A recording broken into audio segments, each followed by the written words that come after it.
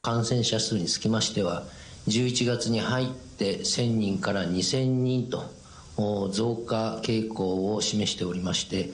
今後ともこれが増えていくであろうというふうに予測されております。すでに第8波に入ってきているものと認識をしているところ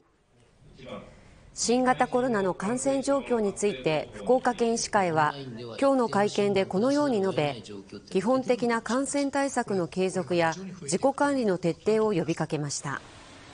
またインフルエンザとの同時流行に備えて発熱外来が逼迫しないよう患者が受診できる医療機関をネット上で確認できるシステムの構築を県とともに目指しているということです。一方病床使用率が50%を超え県がコロナ特別警報を出した際に開設する方針のオンライン診療センターについてはあくまで逼迫時に限定して運用していく考えを示しました。